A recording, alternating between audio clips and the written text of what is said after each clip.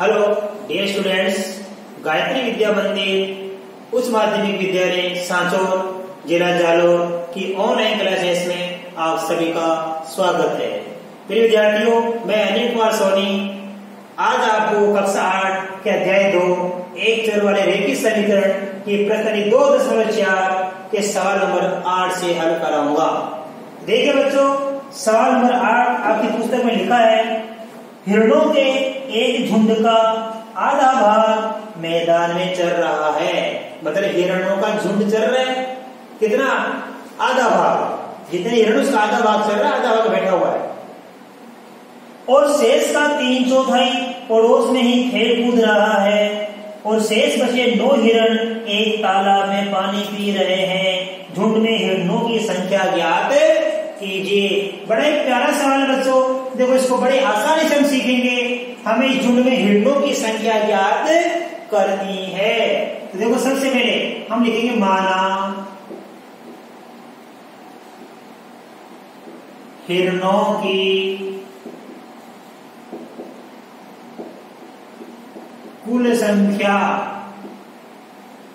बराबर कितनी एक्स अब इसमें लिखा है हिरणों के झुंड का आधा भाग मैदान में चल रहा है आधा भाग मैदान में चल रहे हैं तो आधा भाग का मतलब कितना हो गया एक्स का आधा कितना होगा एक्स बटा दो तो हिरणों की कुल संख्या एक्स मानी हिरणों का आधा भाग मैदान में चल रहा है। तो एक बड़ा दो मैदान में चल रहे इसलिए शेष हिरणों की संख्या हम ज्ञात करेंगे। शेष हिरणों की संख्या कितनी बच जाएगी? एक्स में से घटाएँगे एक्स बटा दो तो ये बचेगा देखो दो एक्स माइनस एक्स वापस कितना बच जाएगा देखो, इसको लेसअप लेके करेंगे। दो लेंगे लेसअप दो को एक से गुणा किया दो एक्स दो में दो का एक बार जाता है। एक्स में से एक्स बटा दो कम कर देंगे हम तो ये आगे एक्स बराबर आ जाएगा एक्स बटा दो तो शेष हिरण कितने बच गए? अरे एक्स का आधा एक्स बटा दो होता है। तो एक्स में से एक्स बटा दो तो चल रहे हैं। अब बच गए कितने? एक्स बटा दो। आगे क्या लिखा है? शेष का तीन सौ थाई पड़ोस में खेल कूद रहा है। तो लिखेंगे, शेष का तीन चौथाई।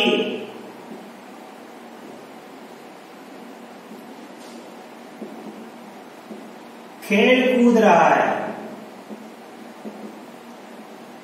इसलिए शेष कितने हमारे पास एक्स बटा दो। इसलिए एक्स बटा दो का तीन चौथाई। शेष कितना हमारे पास? एक्स बटा दो है। तो शेष का तीन चौथाई मतलब एक्स बटा दो का। एक्स बटा दो का तीन चौथाई। खेल कूद रहा है। खेल कूद रहा है। तो याद करो? इसलिए एक्स बटा दो गुणा तीन चौथाई का मतलब होता है तीन बटा चार। बराबर ये हो गया तीन एक्स और ये चार दूनी आठ। ये खेल कूद रहा है। अंत में शेष हिरण कितने बचे? नौ। जो तालाब में पानी पी रहे हैं। तालाब में पानी पी रहे हैं। कितने हिरण? नौ हिरण। ये सारा हिसाब हमने किसका लगाया? एक्स का। माना हिरणों की कुल संख्या एक्स हिरणों का आधा भाग मैदान में चल रहा है, यानी एक बटा दो। शेष हिरणों की संख्या एक्स में शेष बटा दो घटाएँगे तो कितना बच जाएगा? एक्स बटा दो। शेष का तीन सौ था यानी एक्स बटा दो का तीन सौ थाई खेल कूद रहा है तो एक्स बटा दो का तीन सौ थाई खेल कूद रहा है तो एस बटा दो इंटू तीन बटा चार, ये बन जाएगा तीन एस बटा आठ, ये खेल कूद रहा है। तालाब में पानी कितने पी रहे हैं? इसमें लिखा है नो, नौ हिरण पानी पी रहे हैं, इसलिए प्रश्नानुसार। इसलिए प्रश्नानुसार, कुल हिरणों की संख्या कुल हिरणों की संख्या बराबर क्या लिखेंगे? X अब ये किसके बराबर होगा? आधा भाग चल रहा है। शेष का तीन चौथाई यानी ये रहा ये तीन एक्स बटा आठ और तालाब पानी पी रहे नौ। इन तीनों को जोड़ देंगे।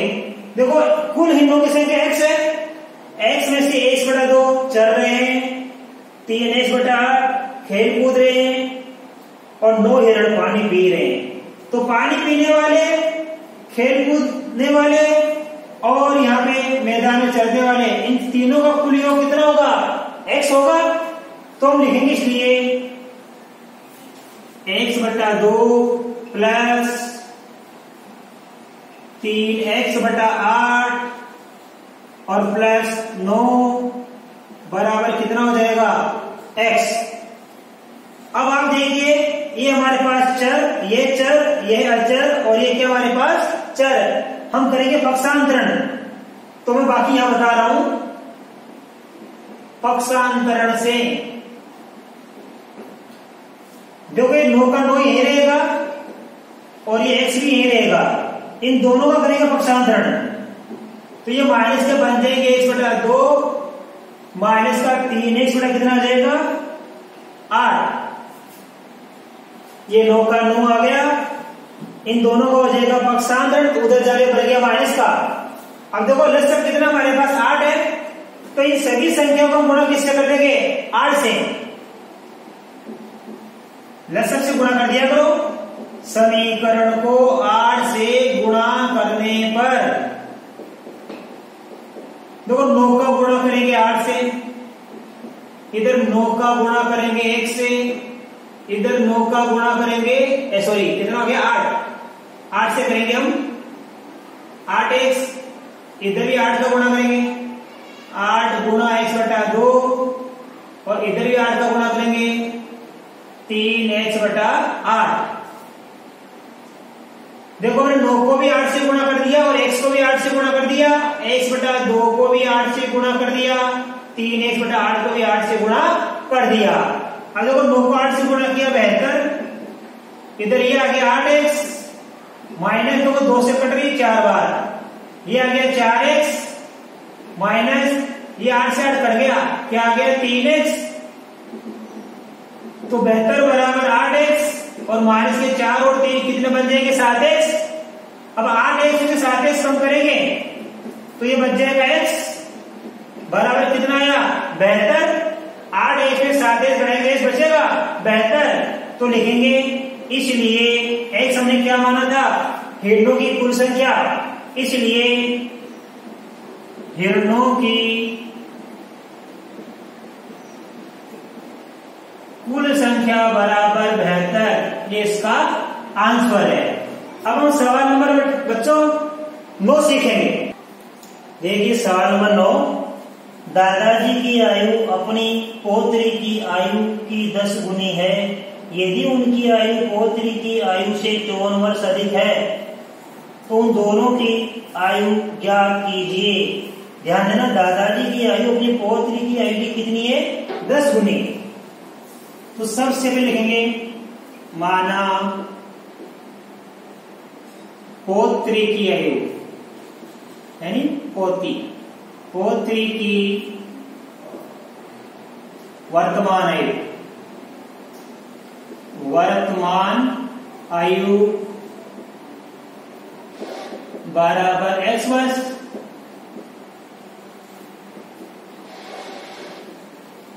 दादाजी की आयु हमारे सवाल लिखा बच्चों। पोत्री की आयु की दस गुनी है कि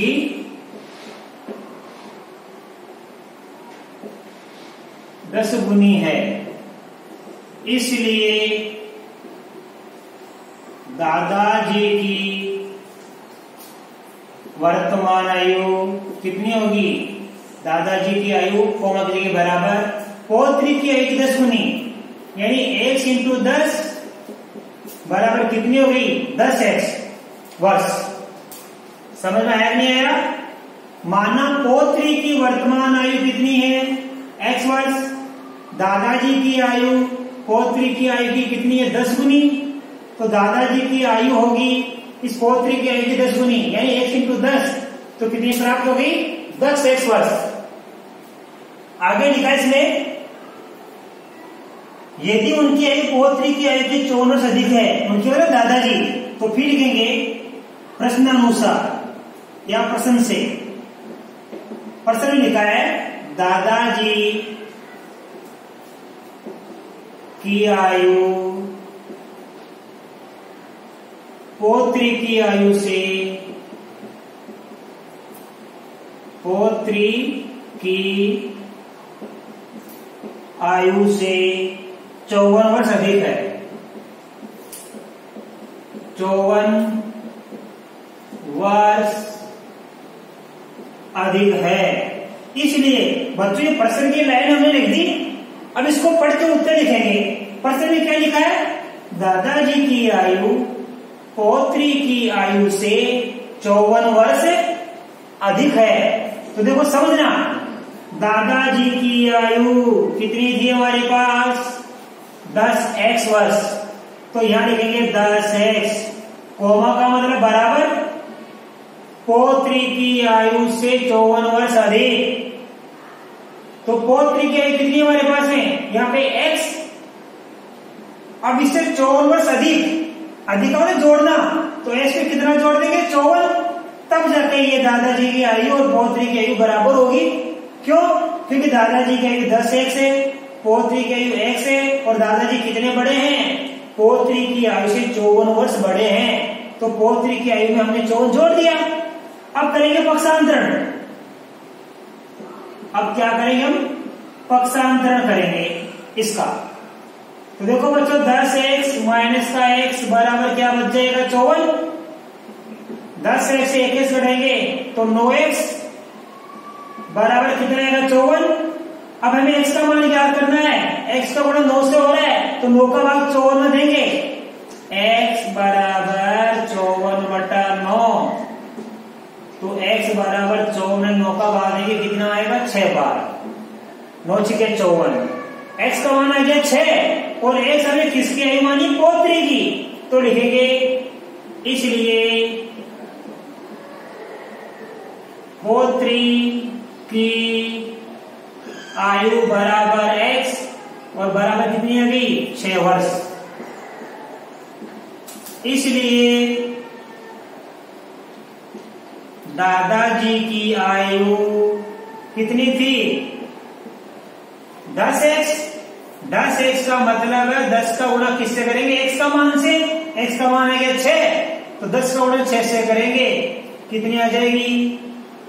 साठ वर्ष। तो एक आंसर ये आ गया। और एक आंसर यह आ गया। पौत्री की आयु छह वर्ष और दादाजी की आयु साठ वर्ष होगी। अब हम इस प्रश्न का अंतिम सवाल दसवां सीखेंगे। देखिए बच्चों, सवाल नंबर दसवां। आपकी पुस्तक में लिखा है, अमन की आयु उसके पुत्र की आयु की तीन गुनी है। तो पहले पुत्र की आयु मानेंगे हम। देखो, लिखेंगे, माना कि अमन के पुत्र की वर्तमान शब्द लिखा ना, वर्तमान।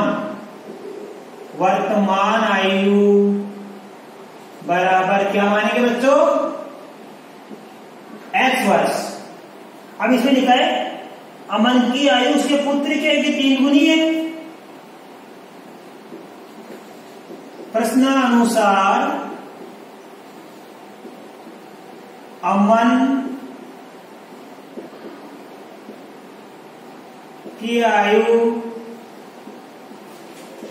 उसके पुत्र की तीन गुनी है। पुत्र की तीन गुनी है। शुरुआत आपको आएगी कि माना कि अमन के पुत्र की वर्तमान आयु एक्स वर्ष है। हमारे सवाल में क्या लिखा है? अमन की आयु, उसके पुत्र की आयु की तीन गुनी है। अब ये हिंदी पढ़ दी अपन इसका जवाब देंगे। देखो अमन की आयु तो पर लिखेंगे, इसलिए अमन की आयु, कोमा का मतलब बराबर, उसके पुत्र की तीन गुनी है। तो पुत्र का एक्स है यहाँ पे। एक्स गुणा तीन, बराबर कितनी हो जाएगी? तीन एक्स वर्ष। राइट तो अमन के पुत्र की वर्तमान आयु एक वर्ष है तो प्रश्न अनुसार अमन की आयु जो वर्तमान आयु कितनी होगी? उसके पुत्र की आयु की तीन गुनी तो एक्स को तीन से गुणा कर देंगे, कितना बन जाएगा? तीन एक्स तो ये तीन एक्स किसकी है? अमन की आयु। और यह एक्स वर्ष किसकी है? उसके पुत्र की वर्तमान आयु। अब दो प्रश्न क्या लिखा है? दस वर्ष पहले उसकी आयु मतलब अमन की आयु। पुत्र की आयु की पाँच गुनी थी। तो देखो लिखेंगे, पहले दस वर्ष पहले दोनों की आयु ज्ञात करेंगे हम। दस वर्ष पहले अमन की आयु। बच्चों, वर्तमान में अमन की आयु कितनी है? तीन एक्स तो बताओ, अमन की आयु दस वर्ष पहले कितनी थी? हमने आपको पहले बताया, पहले की आयु क्या करने के लिए बाकी करते हैं। और बाद की आयु क्या करने के लिए जोड़ते हैं। हम ज्ञात करें, दस वर्ष पहले अमन की आयु। वर्तमान कितनी तीन एक्स तो तीन एक्स में दस कम कर देंगे हम। तो दस वर्ष पहले हम उनकी आयु थी, तीन एक्स माइनस दस वर्ष। अब हम लिखेंगे, दस वर्ष पहले पुत्र की आयु। अमन के पुत्र की आयु लिखनी पड़ेगी, दोनों की लिखनी पड़ती है। अमन की पुत्र की वर्तमान आयु एक्स है तो एक्स में से दस लड़ा देंगे। देखो अमन की आयु तीन एक्स थी जो तीन एक्स में दस लड़ा दिया। और पुत्र की आयु एक्स है तो एक्स में से दस लड़ा दिया। ये कब की आयु है? दस वर्ष पहले की। दोनों के दस वर्ष पहले की क्या कर लिया पढ़ने अब लिखेंगे प्रश्न के अनुसार। देखो, प्रश्न में क्या क्या लिखा है?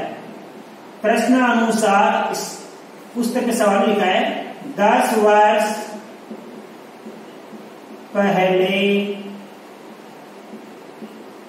अमन की आयु पुत्र की पाँच गुनी थी। पुत्र की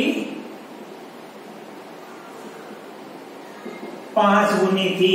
अब जवाब लिखेंगे, दस वर्ष पहले अमन की आयु। तो दस वर्ष पहले अमन की आयु कितनी थी तीन एक्स माइनस दस कोमा का मतलब बराबर। और ध्यान देना, दस वर्ष पहले पुत्र की आयु कितनी थी एक्स माइनस दस। देखो, ये दस वर्ष पहले किसकी आई थी? अमन की। और ये दस वर्ष पहले किसकी आई थी? पुत्र की। तो दस वर्ष पहले अमन की आयु किसके बराबर थी? पुत्र की पाँच गुनी। तो पुत्र की आयु को हमने किससे गुणा कर दिया? पाँच से। अब देखो, तीन एक्स माइनस दस, इन दोनों को ना पाँच से करेंगे तो पाँच को एक्स से गुणा करने में पाँच एक्स और पाँच को दस से गुणा करने में कितना हो जाएगा? पचास। अब हम करेंगे पक्षांतरण। अब हम करेंगे पक्षांतरण से। तो ध्यान देना, कि ये तीन एक्स तो उधर ले दो और ये माइनस का पचास इधर ले आओ किसी में भी कर दो एक तरफ़ चरों को और एक तरफ़ अचरों को। तो देखो इसका करेंगे पक्षांतरण तो इसको नहीं लिखूँगा पहले में ये लिखूँगा माइनस दस। अभी माइनस का पचास है ना इधर आ जाएगा। बराबर के इधर था इधर आ जाएगा प्लस का बन जाएगा। प्लस का पचास ये पाँच एक्स। ये माइनस का ये, तीन एक्स प्लस का था उधर जाने जाके माइनस का बन जाएगा।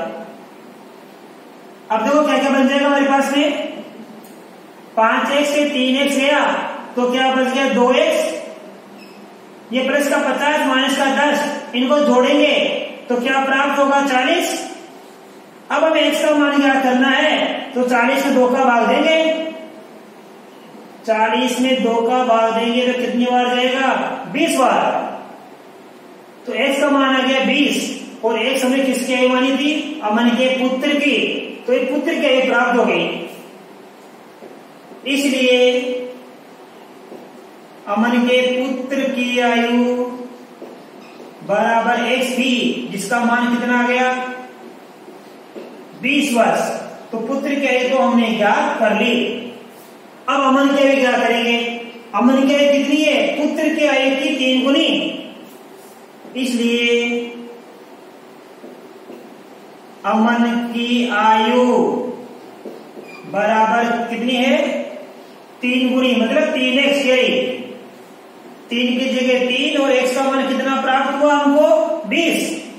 तीन एक्स का मतलब है कि एक्स के मान को तीन से गुणा करो और एक्स का मान कितना आया? हमारे पास में बीस आया। तो बीस को तीन से गुणा करेंगे तो साठ वर्ष। ये हमको दूसरा आंसर प्राप्त हो गया। तो पुत्र की आयु बीस वर्ष प्राप्त हो गई। और अमर के साठ वर्ष प्राप्त हो गई ये दो चार हमारी प्रसारी पूरी हो गई बड़ी अच्छी तरीके से हमने आपको समझाया है। बड़ा इसका अभ्यास करना। धन्यवाद।